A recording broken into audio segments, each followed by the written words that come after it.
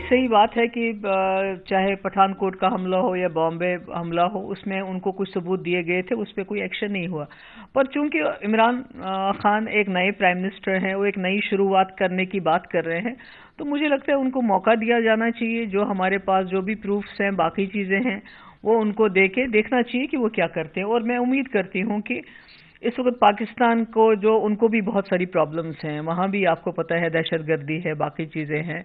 तो ऐसे में अगर ये दोनों मुल्क एक साथ रिकनसाइल करें, अपने एक दूसरे के साथ सलाह सफ़ाई करें, न सिर्फ़ कश्मीर मसले का हल निकल सकता है, बल्कि दोनों मुल्कों के लिए, बिलखसूस पाकिस्तान के लिए एक अच्छी हवा बन सकती है और पाकिस्तान की अपनी मुल्क की प्रॉस्पेरिटी के लिए बहुत अच्छा होगा।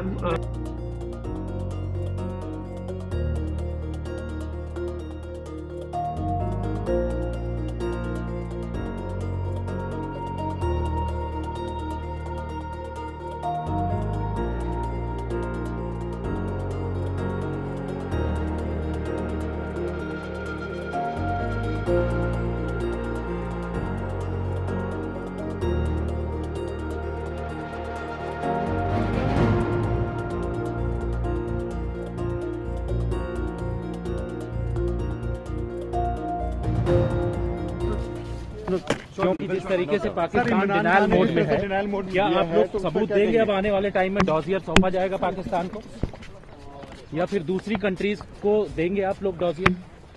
देखिए आप सारे हमारे स्पोक्समैन बात कर रहे हैं from home ministry from external affairs ministry आप उनसे संपर्क कर लेकिन सर दूसरी कंट्रीज़ को क्या आप लोग देंगे?